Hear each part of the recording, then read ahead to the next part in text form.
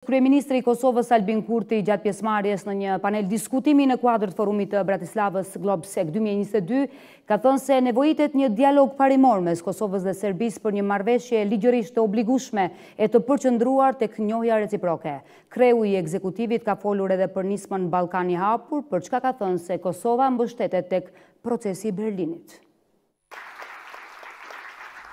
Kreu i Qeverisë Albin Kurti në panelin e diskutimit në kuadër të Forumit të Bratislavës tha se problemi kryesor ndërmjet Kosovës dhe Serbisë qëndron në faktin se kjo e fundit po vazhdon t'i mohojë krimet e kryera gjatë luftës në Kosovë ku me këtë rast përmendi edhe ndërhyrjen që bëri NATO-ja për të ndërprerë gjenocidin serb në Kosovë.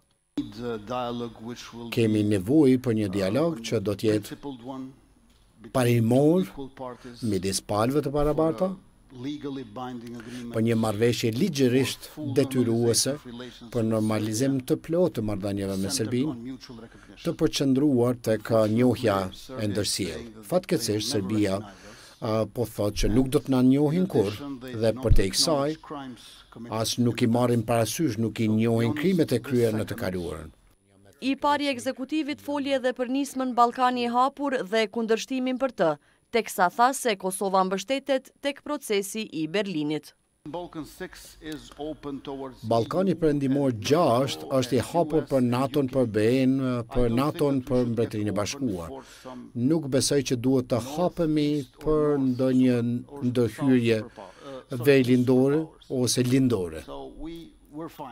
Jemi në rregull me këto dhe mbështetemi shumë tek procesi Berlini 2.0 tashmë me një nisje të freskët nga kancelari Scholz e mbështesim iniciativën e BE-së me vlerat evropiana brenda dhe BE-ja që të na ndihmojë, po jo jashtë BE-së. Në këtë samit ka folur edhe emisari special i BE-së për Ballkanin Perëndimor, Miroslav Lajçak. Ka pasur edhe një perceptim të gabuar që rajoni mund të presë, është në një status të sigurt dhe nuk mund t'i ndodhë asgjë rajonit, kështu që nuk ka nevojë të ngutemi, mund t'i rregullojmë problemet tona më së pari e pastaj të merremi me këtë rajon. E tashmë kjo ka ndryshuar sepse Bashkimi Evropian po humb popullaritetin dhe kredibilitetin në rajon, Tutje, kryeministri Kurti ka thënë se Kosova pret përgjigje pozitive nga Këshilli i Evropës, ku ka aplikuar për anëtarësim.